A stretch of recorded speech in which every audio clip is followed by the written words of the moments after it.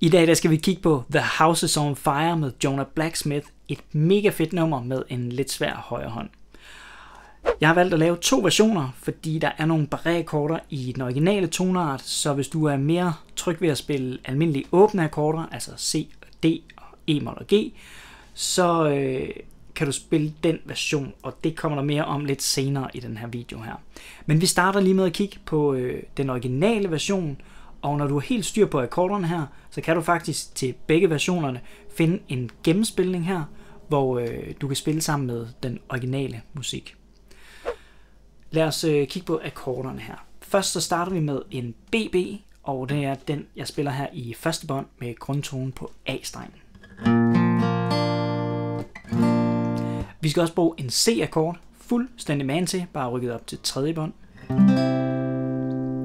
Og så skal vi bruge en D-mol, det er faktisk en D-mol 7. Den spiller sådan her, det er den uden lillefingeren. Og øh, de her akkorder her skal måske lige for en god ordens skyld sige, at øh, på originalen der er nogle ekstra udvidelser. Der er for eksempel sådan en sus 2.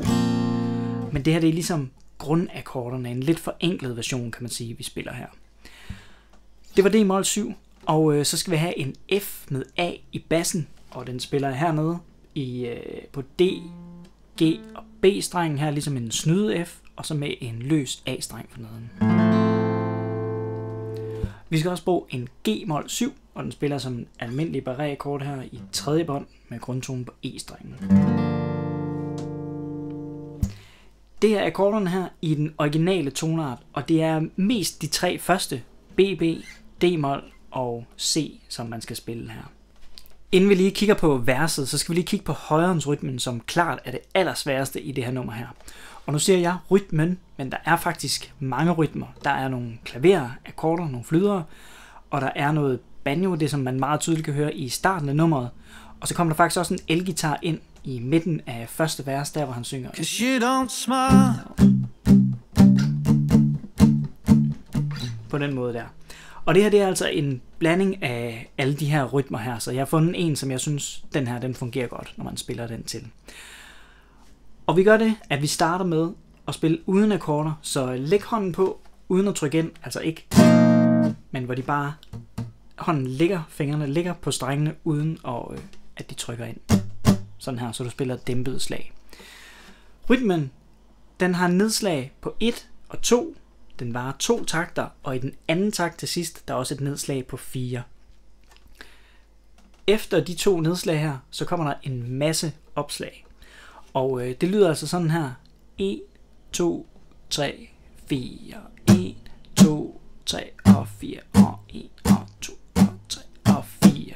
Så ned på 1, 2 og ned igen på 4 i anden takt. 1, 2, 3, 4. 3 og 4 og 1 og 2 og 3 og 4. Det prøver vi lige at gøre et par gange i ring. 1, 2, 3, 4.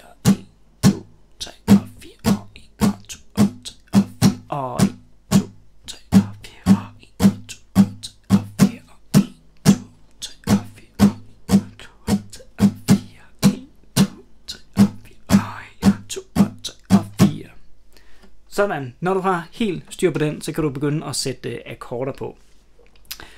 Der er en masse variationer her, og øh, det er faktisk, øh, jeg laver også en masse variationer, når jeg spiller her i den anden video, kan du se. Øhm, for eksempel, så spiller jeg nogle gange ned på træslaget, så man gør sådan her. 1, 2, 3 og 4 og 1 og 2. Generelt så skal du bare se det som, at det her det er ligesom grundrytmen, og så kan du lave en masse variationer ud fra den. Når øh, verset starter her, så starter vi på en C-akkord på de to første slag, de tre første slag faktisk, opslaget også, ned, ned, op.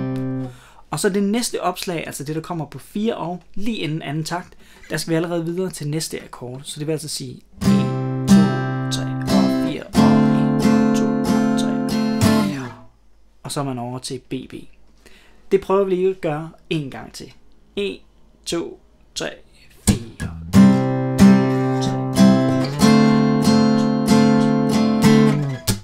2, 3, 4.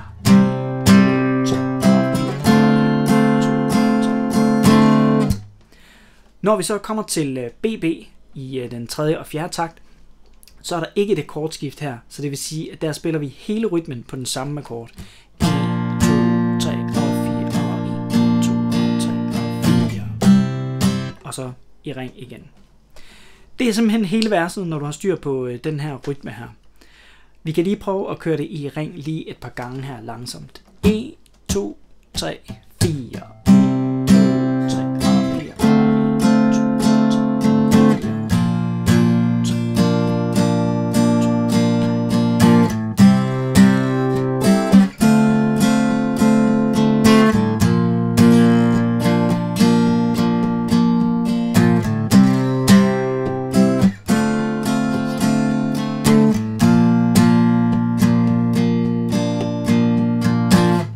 På den måde der. Det er rytmen i verset.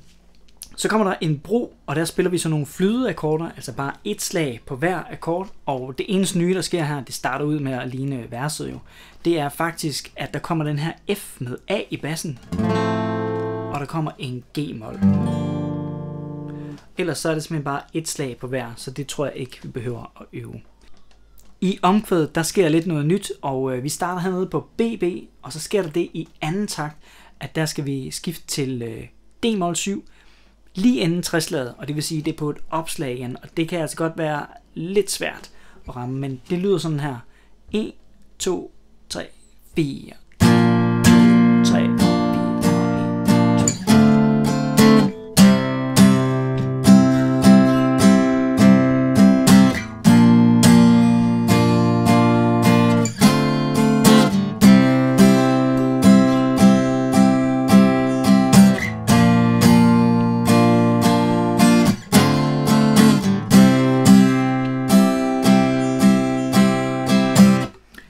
Der er en lille variation ved, øh, den kører simpelthen ikke det her hele vejen igennem, og det er, at man har også en F med A i bassen hver anden gang, den her øh, linje den kommer.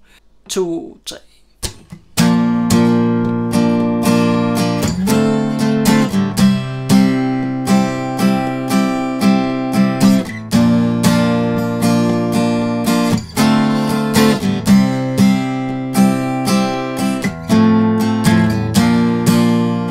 på den måde der. Og øh, det er altså lidt svært det her, så hvis du ikke har helt styr på det, så kan man med fordel lande lige på. Man kan lande øh, lige på træslaget med D-mol her, og man kan lande lige på træslaget også med den anden akkord A, eller F med A i bassen. Det er en måde at forenkle på, og det gør vi helt klart i den anden version, som vi også lige ganske kort skal nå at snakke om. Ved den forenklede version, der gør vi simpelthen det, at vi sætter alle akkorderne en tone op, det vil sige BB bliver til C, C bliver til D, D bliver til E, og F bliver til G. På den måde så kan du slippe afsted med kun at spille almindelige åbne akkorder. Og rytmen, den har jeg også forenklet. Her spiller jeg bare et slag på hver akkord. Du kan sagtens spille rytmen fra før. Og så gør jeg det i omkvædet, at jeg lander lige på 3 og 4, altså ikke noget med nogle lifts, der gør det sværere. Så det vil sige, verset først lyder sådan her.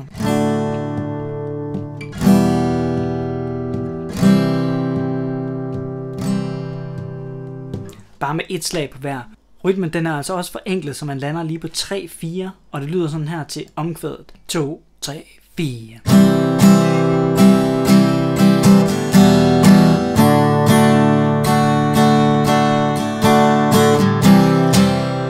På den måde. Nu håber jeg, at du har alt, hvad du skal bruge for at komme i gang med det her nummer.